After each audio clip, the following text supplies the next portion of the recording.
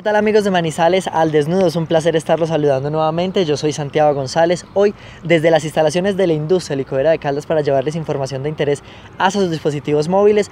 La noticia del momento son los cinco días de cárcel que le dictaminaban al alcalde de la ciudad de Manizales, Octavio Cardona.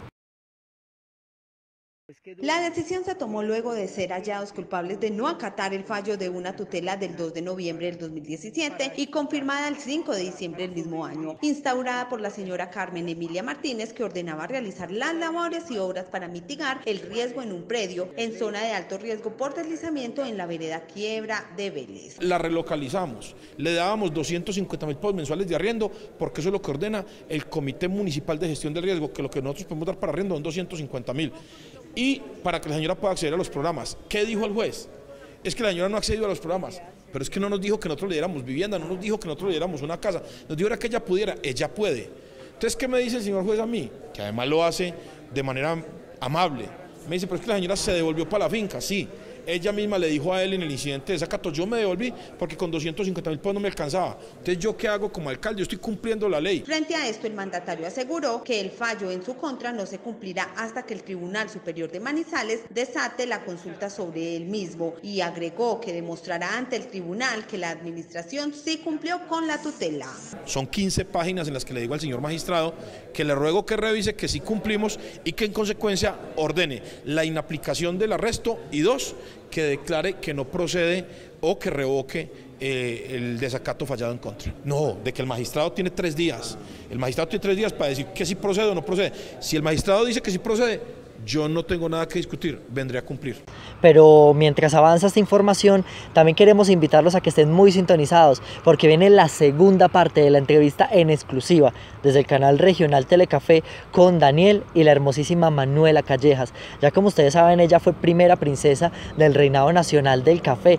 Una entrevista donde se desnudaron con nosotros, metafóricamente hablando, y nos contaron bastantes secreticos. Estamos en toda la entrada de la industria licorera de Caldas, ya ustedes saben, kilómetro 10, vía al Magdalena. Por allí también podemos apreciar en la parte de arriba lo que son las bodegas, donde se guarda el mejor ron viejo de Caldas, también el mejor aguardiente.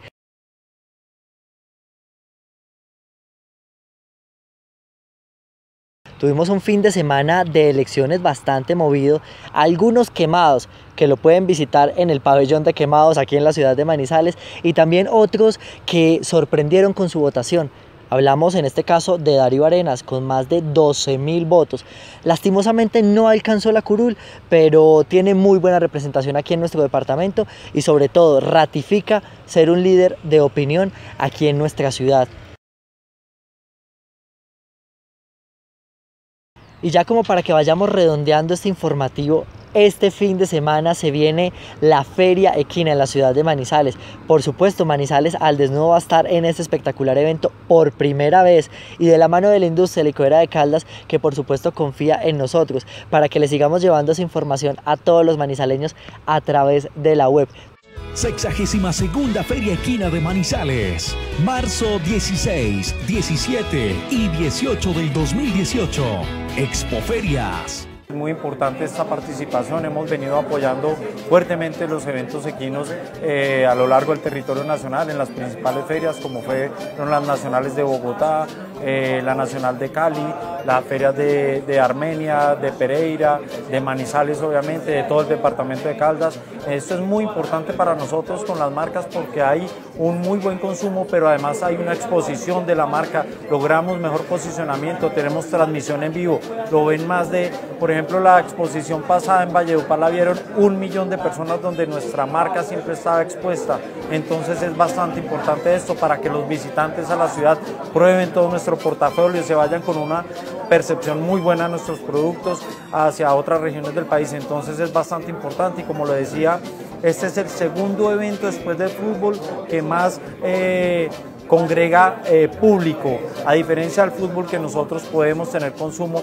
durante el día y parte de la noche. Entonces es importante para nosotros destacar nuestro portafolio de productos en este tipo de eventos. Aguardiente Cristal es tal vez hoy en día la marca más reconocida en el sector de los caballistas a nivel nacional. Eso es indiscutible. Ha sido la que durante los últimos cinco años ha venido patrocinando eh, masivamente las principales ferias equinas eh, en, todo el, en todo el país. La industria licorera de Caldas es el sponsor oficial de la feria equina desde, desde que inició la feria eh, siempre hemos ido, de la, hemos ido de la mano con ellos, siempre nos han colaborado, ha sido realmente un, un bastión muy importante en la realización de, esta, de estas ferias equinas en nuestra ciudad, que como saben vamos para la versión número 62. Las equinas las vivimos todos.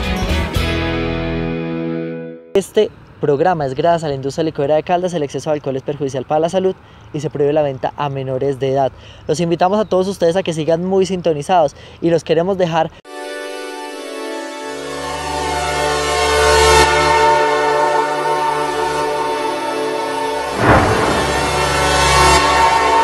Yo soy Enduro World Series.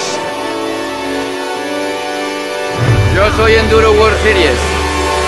Yo soy Enduro World Series. Yo soy Enduro World Series. Yo soy Enduro World Series.